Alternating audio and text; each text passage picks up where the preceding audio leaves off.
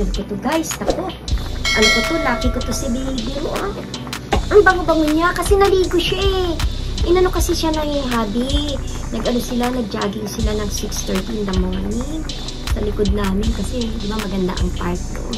So ito naman si baby Ro. Oh, ano talaga, medyo pumapayat na siya oh.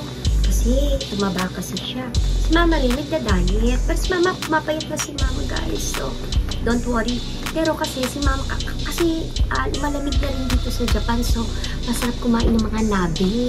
Ayan, ang tawag kasi dito nabe, yung uh, magpapakulo ka ng uh, kahit anong, basta kahit anong pagkain dito sa Japan, uh, pag pinakuluan ang tawag nila is nabe. Marami silang klase dito dito guys. Ito, tinuturo ko sa inyo, easy way na to, ang pagluto ng lugaw. So, ukayo ang tawag dyan, ukayo ha. So, ito naman lugaw dito sa Japan. So, pag, na, pag nagaya nyo to guys, parang na rin kayo nasa Japan. Ang sarap guys. So, ayan guys, pinapakuluan ko siya. Kailangan kasi mag-melt yung bigas na nilagay ko. Eh, di ba ang bigas dito sa Japan, eh, parang malapit. Kaya, ayan, pinapamelt ko na siya. Uh, yung bigas na yon galing sa rice cooker namin. So, kung meron kayo diyang mga natirang bigas, kahit bahaw guys, pwede dito guys sa ating ano, okayo, lugaw ng Japan. So, Ayan guys, pinapakuluan ko na siya masyado, no? Ayan. Kasi, kaya ko siya pinakukuluan guys, nang mabuti. Ayan, kulo-kulo, no? Para yung kanyang ano, yung nilagay natin na hiwa-hiwang manok. Ayan guys, so asarap, no? May hiwa-hiwa tayo manok. Is mag-melt siya. Pag naluto na to, tatawagin ko si Ay.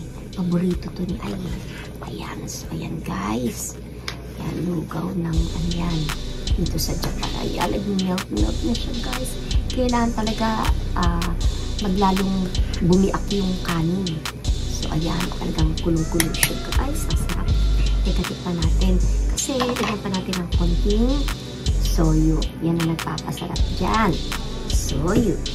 Tapos, tikman natin kung okay na yung kanyang, ano, yung kanyang lasa. Yung kanyang alat.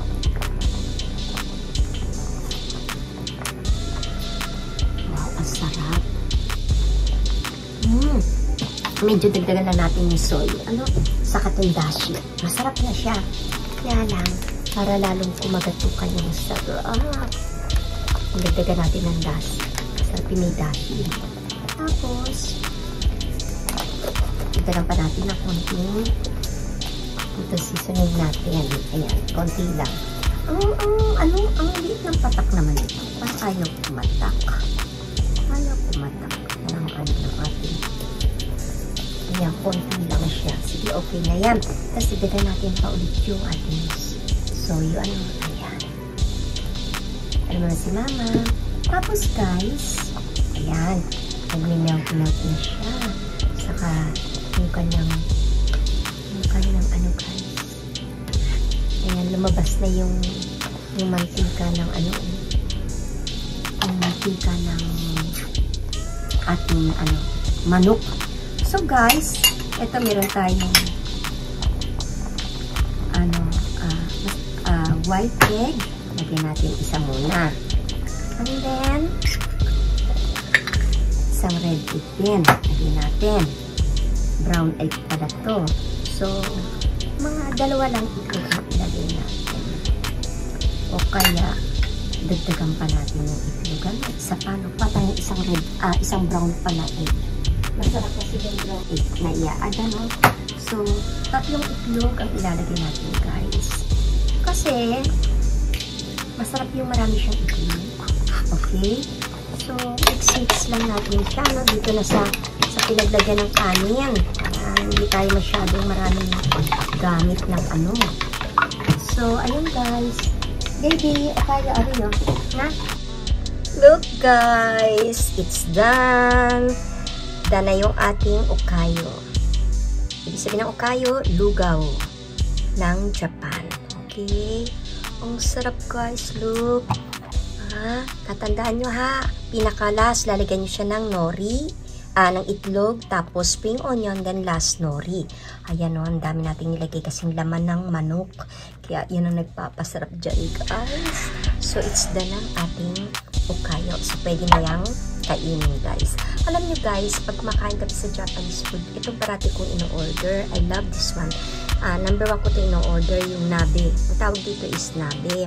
Nabe ng ano, ukay. Sabi mo, ukayo na uh, pag nag-order ka ng ukayo kasi maraming klase ang ukayo. Merong luto sa manok, merong luto sa sa baboy, meron din luto sa beef. Kaya ang pinakamasarap is luto sa manok.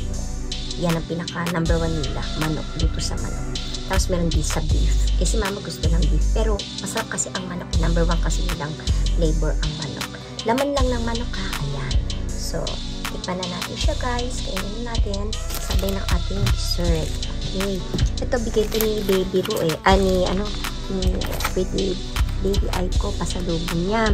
It's galing pa sa Hokkaido to. Milk cream. Yan. Uh, cake rolls siya, no? Pero ano to, pasalubong niya kasi ito. Nag-ano kasi siya eh. Uh, amaga pa lang punta sila sa, nag-ano sila ng the golf ng ating niya si. And then with their friends. Okay? So, tapos napadaan din siya sa 7-Eleven. Bumila niya ako ng ano. Ito, my favorite. Gusto ko to itong kakanin na to. Uh, parang pichi-pichi. Kaya lang ginawa siya, uh, uh, jelly brown siya eh. Tapos sugar syrup ang bis siya sa gawa. Kaya masarap siya guys. So, deki tayo baby. Look guys! Nag-melt na yung ating okayo guys. Ang sarap. So, maglalagay tayo dito. Ito ang spoon dito sa ating lugaw. Ayan. So, lugaw ng Japan. So, ayan. Lagyan natin ng plenty of chicken and then nori. Ayan. Tapos. Okay. Tikman natin guys. Ang sarap guys. Ito. Tikman natin. Mm. Oishi aji iyo ay chang. Mm. Choto tabite. Iku kara. Oishi. Ang sarap guys. Ah, aji iyo. Ang sarap to te. Aji ang sarap. Ito kasi ang number one dito sa amin. Sa pagpunta ka ng mga isakaya, Japanese restaurant, number one nila to eh, yung nabe. Okayo ang tawag dito. Sarap. Mm. Ang sarap guys. Hoy, oishi wa ai-chan. Sabi na. Aji i. Ah. Ang sarap baby ng ating okayo. Na? Okayo. Hmm, hindi ka nang pwede. Katatapos mo lang kumain, baby, ha? Hmm, kumain ka na. Kumain ng ating baby. Si Baby Ru na. Baby Ru na. Busog na siya eh. Kakain na si mama, ha? Ang sarap ng okayo, guys. Ang sarap ng okayo. Hmm. Tapos ito, guys, sinasabi sa inyo, masarap to eh. Itong jelly, jelly ng ano to eh, ng jelly brown. A jelly brown with sugar syrup. Ang sarap ito, guys. So, tikman natin siya, guys. Para siyang pichi-pichi, kaya lang gawa sa brown sugar. Ang sarap. Ah, hindi na natin kailangan yun. So, ito, guys. Ang sarap, guys. Ayan. And then, tikman natin itong cake Pretty Baby. Ay natin. Galing sa Hokkaido. Pag sinabing Hokkaido, guys, dyan number one masarap yung milk. Kaya ano siya eh, uh, milk cream chocolate. Hindi siya chocolate, milk cream. Okay? Isa natin. Ipapartner natin dito sa ating okayo. Wow, so yummy. Look! Okay. Ayan. Sarap na natikman natin guys ha. So guys, may idea na kayo ha. Pag gusto niyo magluto ng ano, ng luto ng hapon na easy way lang how to cook. Ito guys, okayo. Pag napapakain kayo ng Japanese food. Ako, ang sarap guys sa okayo nila guys. Alam niyo guys, healthy siya kasi wala siyang, hindi siya gaanong ma-fats ha. So, tikman natin tong jelly na to. Ang sarap tong jelly na to.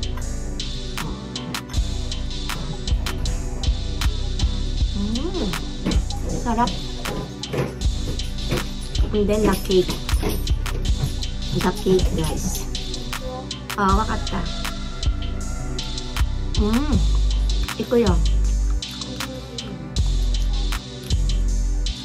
Sarap, guys. So, kain tayo. Let's eat ha. Ang sarap.